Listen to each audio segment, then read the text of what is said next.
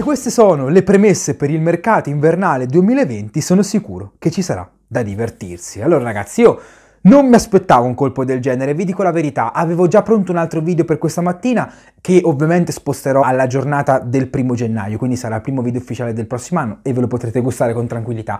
Ma all'improvviso mi è arrivata una notifica di OneFootball riguardante l'articolo che vi mostro qua a fianco. A proposito, se ancora non l'avete fatto, scaricatelo tramite il link in descrizione. A quanto pare la Juve è riuscita ad acquistare, o perlomeno ha praticamente concluso l'affare, che porterà il talento svedese svedese Kulusevski, patrimonio dell'UNESCI, citando il mio amico Papyrus, alla corte di Maurizio Sarri. Il tutto a fronte di una spesa che prevederà 35 milioni più 10 di bonus da versare nelle casse dell'Atalanta, detentrice del cartellino del giocatore attualmente in prestito al Parma, con un contratto quinquennale a 2 milioni netti a stagione, con il giocatore che potrebbe addirittura andare alla Juve già nel mercato invernale in base ovviamente ad una possibile contropartita. Si parla di Piazza che ovviamente non sta trovando spazio nell'attacco bianconero, però tra le due opzioni è più probabile che il giocatore arrivi alla Juve a giugno, venendo comunque ufficializzato nel mercato invernale. Allora, premetto prima di tutto che questo affare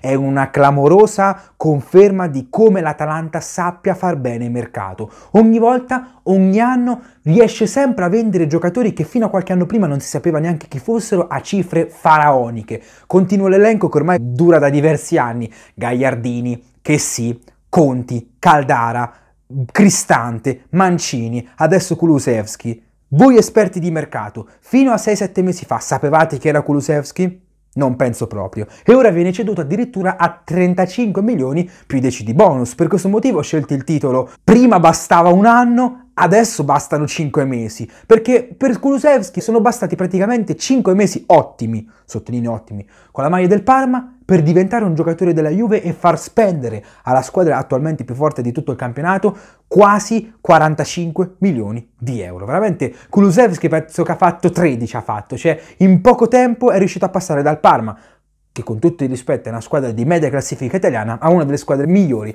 di tutto il campionato italiano ed europeo.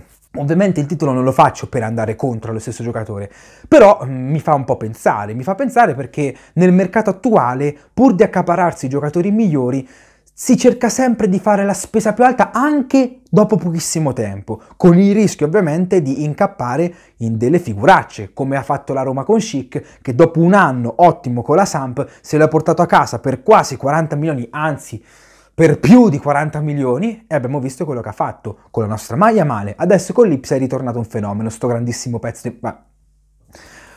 Cerchiamo di restare calmi. Allora, io Kulusevski con la maglia del Parma l'ho considerato e lo considero tuttora un grandissimo talento. Quest'anno secondo me è una delle sorprese più importanti di tutto il campionato, un giocatore molto bravo tecnicamente, non solo in velocità ma anche con i piedi, ha dimostrato un'ottima tecnica e un'ottima visione di gioco, soprattutto se consideriamo l'età giovane del giocatore, quindi fare un investimento su di lui non è sbagliato. Non pensate che io dico queste cose perché l'ha preso la Juve e se l'avesse preso un'altra squadra avrei detto cose completamente diverse. Io la penso in questo modo. È un giocatore molto forte, che sta facendo vedere grandi doti e grandi qualità, però forse spenderci 45 milioni dopo mezza stagione ad alti livelli mi sembra un rischio un po' elevato. Nulla contro il giocatore, ci mancherebbe, anzi, se continua così potrà tranquillamente diventare uno dei centrocampisti più forti del mondo, mo l'ho, l'ho esagerata, però comunque può diventare un talento molto molto importante. Però è bastato veramente poco per convincere la Juve a fare un investimento del genere. Nel mercato attuale abbiamo visto spese folli per giocatori che non hanno dimostrato di valere quella cifra. Ad esempio, mi viene in mente uno, Dembélé del Barcellona che è stato pagato 150 milioni 150 milioni e poi abbiamo visto quello che ha fatto. Non è un segone allucinante, ma non è neanche un fenomeno. Come nel caso appunto di Kulusevski, per me eh, la Juve fa sicuramente un buon acquisto, però ci sono molti rischi a riguardo, perché se il giocatore poi si dimostrerà adatto più a piazze di media classifica piuttosto che piazze importanti, tu hai comunque buttato una cifra importante non solo per il cartellino ma anche per lo stesso stipendio del giocatore che per un giocatore così giovane appunto alla prima vera stagione non è certamente poco. Non so quanto prenda adesso con il Parma ma sicuramente non si avvicina neanche lontanamente ai 2 milioni crescenti che gli darà appunto la Juve. Quindi sono rimasto abbastanza sorpreso perché di solito questi affari la Juve non li fa. Cioè sì, diciamo che spesso quando c'è una squadra italiana che si interessa a un giocatore, arrivano loro e se il prendono via. Higuain, Pjanic, Bernardeschi. Non so adesso quanto possano essere contenti di aver preso Bernardeschi, ma comunque lo stesso appunto Kulusevski. Molto spesso succede così nel mercato generale, ma mm, la Juve lo fa molto spesso. L'unica volta che l'abbiamo fatto noi è con i Turbe e abbiamo visto quello che ha fatto. Lo abbiamo ripetuto qualche anno dopo con Chic, che aveva addirittura fatto le visite con la Juve.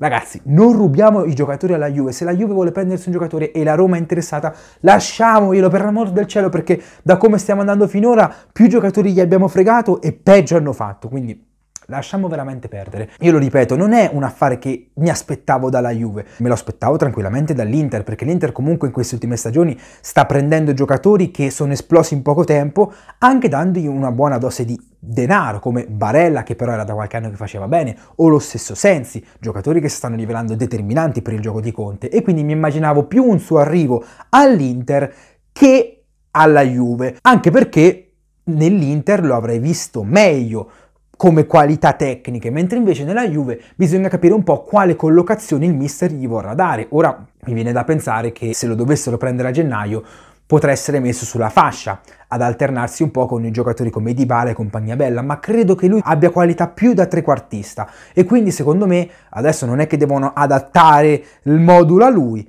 però ci può stare anche un utilizzo come centrocampista perché ha i piedi buoni anche per poter lanciare gli attaccanti e fornirgli palloni importanti, quindi comunque sotto questo punto di vista è un giocatore polivalente che puoi anche mettere in diverse zone del campo ottenendo risultati sempre soddisfacenti. Quindi io Concludendo il video con questo titolo non voglio dire che Kulusevski sicuramente farà male alla Juve, è semplicemente una cosa che ho notato nel mercato attuale in cui basta veramente indovinare una stagione da Dio e subito le squadre si menano, si danno i cazzotti per portarti a casa. Adesso non più dopo una stagione intera, ma addirittura prima dell'inizio del mercato invernale. E mi auguro per la Juve che non si tratti di un Piontek 2. Chi vuol capire, capisca.